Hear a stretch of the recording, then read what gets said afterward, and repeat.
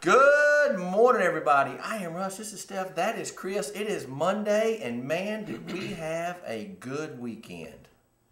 Me and you did. did. Saturday. Well, first, let me just say this. Tonight, tonight at Fast Eddie's is a pool tournament. Now, they have a pool tournament every Monday night, and with prizes, money, everything. If you think you got what it takes to be a pool hustler, pool shark, get over to Fast Eddie's and get your pool on. Get your mother pool on. If we wasn't filming tonight, I would probably. I think I might do this one of these weeks. Take the little flip mode down there and put you in the tournament, and uh, let you no get good. your hustle on. I'll film it. you know how you put that behind the back and don't look. You know that. You way. know what I have? You know, just playing pool, I'm all right. Right. I've never played in a tournament. Right. I take that back. Played in a tournament one time. You played as well. I did play. We were in Houston Yep. at I did suck. wasn't it was uh It was at their Graham Central Station or something. exactly. I remember. it. God, that was a long time ago. Well, I remember my dad used ago. to, you know, he used to have his case and silver case, undo it, He was. velvet, Uh, he was the hustler. get the My yeah. my dad was a hustler too, but he didn't carry his stick in because he wanted to let you think He wasn't any good. he'd play with a crooked stick and beat your butt. Damn, must See, when I'm walking any beer joint with twenty bucks and drink all night, trust me. He, that's what he. That, you know my dad. Yeah, that's what, that's he what I'm saying. He was a hustler. Any anything that was hand-eye coordination, he was good at. God rest his hustling soul. I saw him when, or my mom tells me the story where he won 2000 one night. So like this is in the seventies, Oh my gosh. and I've showed you where he lays the Yeah. stick on the he lays the stick long way on the on the table step, and he goes, without lifting that pool stick, I bet you I can get this ball under that. I bet you I can make this ball go under that stick. And there was a some guy in there had a bunch of money. Ain't no way, and blah, blah, blah. he just picked it up and rolled it under the table. the guy, they said the guy paid him. well, you have to. That's a good one. That is good. Don't tell him. Now when we tried that trick, and it won't work. Oh, I've used it a many a time, just never worked two grand. Oh gosh. Well, that That's trick is awesome. great. The trick is great if you can pull it off. But Without getting your butt. that's not the pulling off I'm talking about with the Baylor Bears being able to pull off their second win in the NCAA tournament. They're in the Sweet 16 after beating Old Dominion. And, you know, the one thing we worry about with the Baylor Bears Yep. is when they get out to a hot start, they always kind of go through that lull and give the other teams a chance, and they did that again Yeah. uh, Saturday. But they, they came out on top. They played good. And if you didn't see it, you go to my Facebook and you can see the support at George's Yeah. Because I set my camera up when the, uh, on my phone when it went off and people were cheering. That's some support.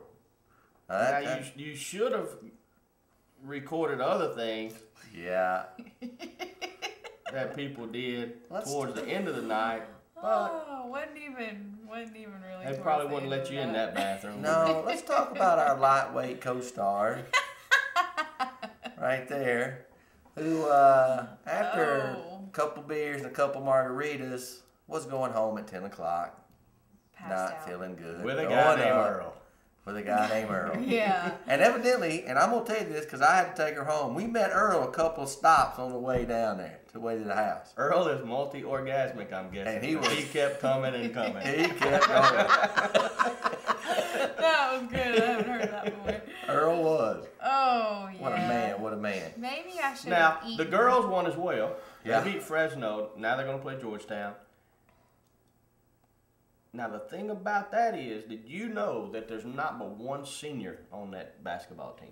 On the girls. One senior I did girl not on know the that. basketball team. They, you know, the one girl who tore ACL. Right. She's Oh back. yeah. So they actually looked really good. I heard.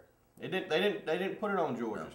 They had uh, North Carolina playing, so Yeah. we didn't get to see it. Oh yeah. But they say they look really good. Well, I'm excited about that. And I will throw this out there that they will win a national championship in the next three years. yes, if if she stays, Where's she gonna go? WNBA. Uh, an alumni will pay her that to stay in Baylor. That's true. That's true. That is true. You know, You're there's right, really no right. reason for, for women to come out early because they don't make that much money. But anyway, congratulations to both of them. Yes. Congratulations. Congratulations. Baylor had a great Now, weekend. this is something that we have personally had to, we, we kind of know because we've had to deal with the junior high kids because we've already heard it on the, you know, the mm-hmm. news and all this.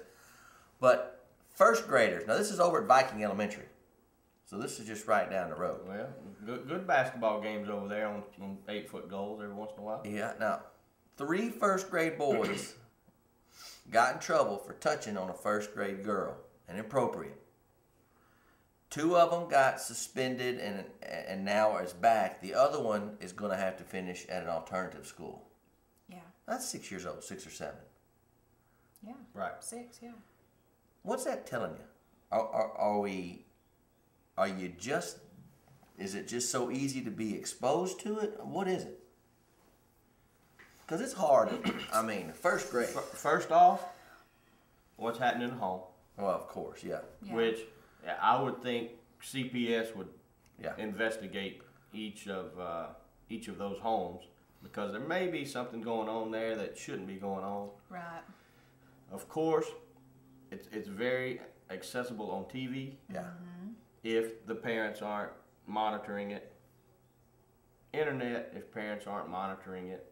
So And and you know when we were just talking about this um, not too long ago, and uh, and I said you know it just it seems like all this sexual everything curiosity is starting earlier and earlier and earlier and earlier. But dang, first grade, that's crazy. yeah, you, you know, Colin got in trouble for slapping a girl on the butt. Right. We did that in junior high as well, but it was don't do that again. Yeah. Oh, it yeah. wasn't. Uh, we're gonna throw you out of school, lock you up. Oh, I know. You know, uh, uh, the boys do the cup check deal with it. You know, we did that too, and we did it at the same age as they did. Right. I know. But the con- consequences are so much different. Yeah. You're supposed to be punching them in the first grade, not feeling on them. and, Uh, exactly, you're not even supposed to like them, and, and, this- it's not like they get any satisfaction out of it. Yeah, they don't have any idea. They see Right. it on TV or they see it. It's like you said. It's one of those deals of. It's a story that we go. Whew, Yeah, and it happened. It actually happened a month ago, and the little girl told her mom about it, and her mom. I mean, of course, they're not saying exactly what happened, but the mom said it was very, very inappropriate. there you go. So, Another I'm reason why I will not have children, yeah, exactly. Especially a first grader. especially a first grader. They better be like a. I just. I don't know. I think I'll adopt like a 26 year old or something. Swiss. I would. And then the inappropriate touching, Swiss girl- blonde. Swiss blonde. Yeah. and she just calls you daddy. yeah.